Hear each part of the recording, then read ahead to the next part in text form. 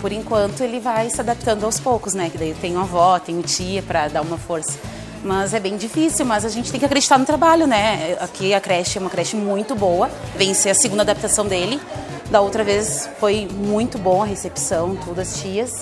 E esperamos que ele se adapte bem. Eu acredito que, né, eu acredito no trabalho da toda a equipe diretiva e eu acredito que ele vai se adaptar bem. A gente é mãe, mas a gente tem que criar os filhos para o mundo e não para gente. Hoje estamos aqui, né, o primeiro dia uh, útil com as crianças recebendo. É um dia muito especial.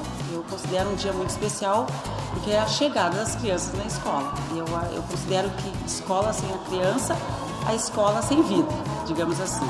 E é um dia assim, ó, que a gente é, torna tanto para a criança como para a mãe ali, para o familiar que vem trazer, um dia pra, prazeroso, né? Uma recepção que traga, deixa a mãe tranquila e que ela possa sair, deixar sua criança, seu filho na escola e que saia bem tranquila, confiante, confiando na escola, confiando nas pessoas do qual ela está entregando o seu filho. A gente fez assim com todo carinho a escolha, né, das, das diretoras das e-mails, né, com o perfil que elas têm, né, de trabalhar com, a, com, os alunos da educação infantil a gente preparou um, um encontro da, das diretoras.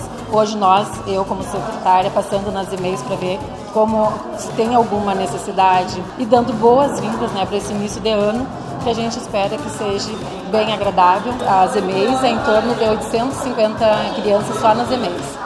A gente tem assim, a escola Alfredo Duarte, que, vai, que não, foi, não foi hoje iniciadas as atividades por motivo da reforma, ah, vai ser em torno de 100 crianças. A gente tem uma, ah, vagas disponíveis na Escola Alfredo Duarte.